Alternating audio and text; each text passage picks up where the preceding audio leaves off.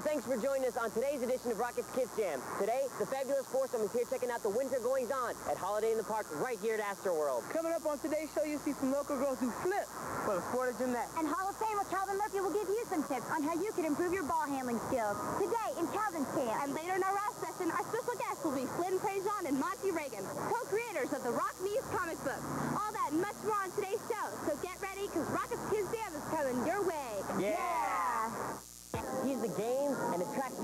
supervisor here at Astroworld. Now, you're not going to believe this, but Sam and I and Brian, we're standing in front of a very rare sight on a Houston December day, and that's a snow-covered hill. Yes, that's right.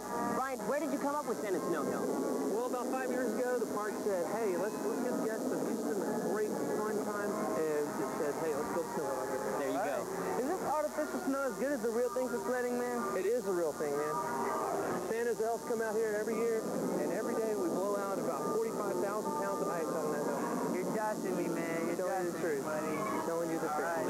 there. Okay, you said there were 45,000 pounds of ice? Yes, sir. How do you keep it cool? Well, basically, we got ice built up on top of itself, and day after day, it just stays cold by itself. There's nothing underneath there at all. All right, man. Well, how do you stop that from melting when it's this warm? What we have to do is basically just go with uh, nature, and at the end of the day, we'll cover it up with a thermal blanket, and it'll stay cold overnight, and then we'll pop it off the next day.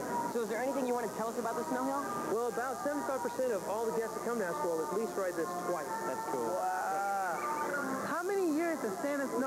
Part of the Holiday in the Park experience? Ever since we started. All right. When was that? That was uh, about five years ago. All right, cool. Well, thanks a lot. Well, Sam and Brian and I are going to go check out the snow hill while you check out this next piece about a bunch of local girls who are doing their thing in the champion sport of gymnastics. than most people conquer in a year. Hi, Lauren and I here with twins, Ernest and Joe Melton, two performers in a Jolly Holiday show here at Holiday in the Park. Hi, Ernest. Hi, Joe. Hi, this is Ernest and this is Joe. Can you tell us, what can audiences expect to see when they come to a performance of the show? Well, Jolly Holiday is a Christmas show that starts out in the outdoor scene and there's carols out there and then it moves into the indoor scene and then takes you out on a few movies. So So it's just like a big Christmas show. it's a party, exactly. Well, let's get, what kind of Christmas songs will y'all be performing? We do sleigh ride, the traditional jingle bells, and Yeah. then we do some upbeat like Mr. Santa. I think there's even a Christian play we do a Holy Night and stuff like that. So Great. going fast. Yeah. Well, just to get an idea about how big your show is, how many people are there in the cast? The cast is um, 12 people. It's 10 people performing at a time with two swings to give people breaks. Yeah, I see. Well, what age audiences like to come and see your show? It's a family-oriented show, strictly family for all ages. That's great. Well, ha- is this your first year with Holiday in the Park? Yes, This is our first year at Holiday in the Park, our fourth show here. Really? Well, how long have you both been singing and dancing? Since we were five, we started since we were five. Really? and How, just, how did that happen? Up at Sam Houston State in Huntsville, Texas, we did a our first show, Strange Case of Mother Goose. What kind of dances y'all been taking? Never I'm formerly a gymnast is what I am, Really? and that's how I got my dance training through gymnastics. Oh, So no formal dance classes, but Well, what is y'all's favorite part about performing at Holiday in the Park? Seeing people smile, having a good time, people spending Christmas with the family, and basically keeping the theme park shows alive, because that's really the true meaning of theme park. So. Well, this isn't all y'all do. I understand y'all are doing something a little different tomorrow, Uh, right? We're shooting a video. It's um, I don't know how much we need to say, but it's promotion for the theme parks. They're going on a retreat, so we'll be helping them put a video together. Well, that's great. Well, thanks so much for talking to us. We can't wait to see y'all's show. Well, don't go away, because there's a lot more to come from Holiday in the Park, right here on Rockets Kids Jam.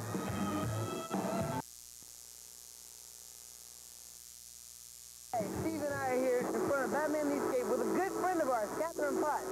She's the public relations coordinator here at Astro. Hi, Catherine. How you doing? Just fine, thanks. Tell me, are the rides a big part of the Holiday in the Park experience? They are. You wanted to create a winter wonderland where people can come out here, see carolers, see holiday shows, and also enjoy our rides. It's a great time of the year. The families are on vacation. They can come out and enjoy the rides and see the holiday shows. Well, that's great. How many attractions does Astroworld have to offer here at Holiday in the Park? Well, we have over 100 ride shows and attractions. We have the special shows that are just geared for the holidays, the Sony Dance Productions. We also have a snow hill, an area for kids to make Christmas crafts and ornaments.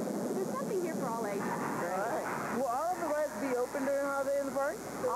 All the rides for the water attractions. I know you don't want to get wet. And then the Texas Cyclone. But there's our rides like the Ultra Twister if you like heart-pounding thrills, or if you like something a little more slower, there's our carousel. There's all rides for all age groups. We also have an authentic steam engine that goes around the park where you can see the whole park and you can jump on our Astroway and get a bird's eye view of all the holiday lights. So have the rides here gotten a holiday facelift? They have. We've added lots of decorations and lights throughout the park, so when you come,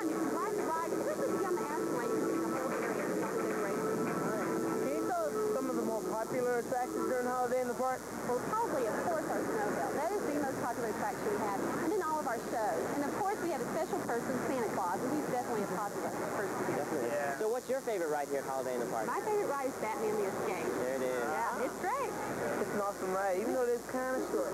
Well, you get to walk through the Batcave, Arctic Park, and Gotham City Cold Storage, so you actually experience a whole voyage, a sensory voyage of sight and sound. So it's something that little kids can do and older people as well. Cool.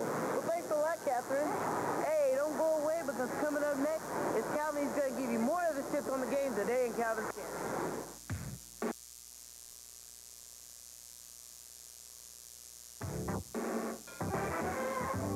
Hi, Lauren and I are back with Catherine. Hi, Catherine. Hi, Catherine. Talking to us. Catherine, can you tell what did after all get the idea for the Park?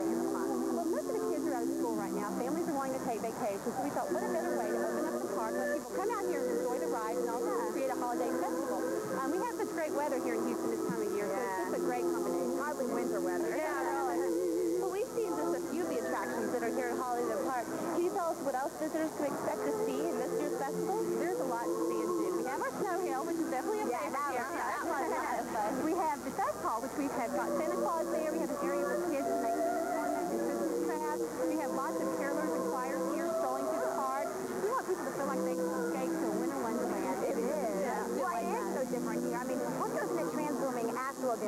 park that we're all used to, the Winter Wonderland? Well, the process that we begin by first decorating the front gate area. As you see when you came in, in our globe area, we covered it with a wreath that says Peace on Earth. Yeah, That's become a tradition here. When people know that goes up, it's time for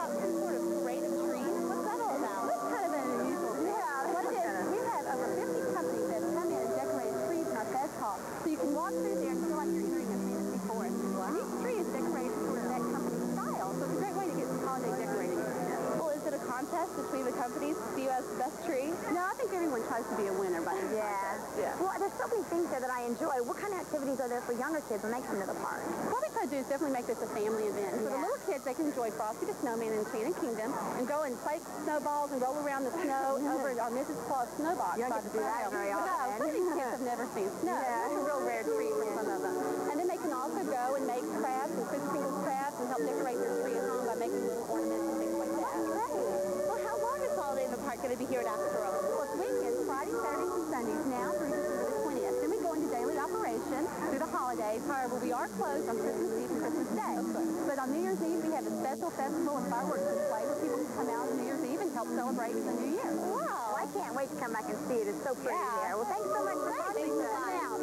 Well, don't go away because coming your way is our rap session with special guests Glenn Trajan and Monty Reagan.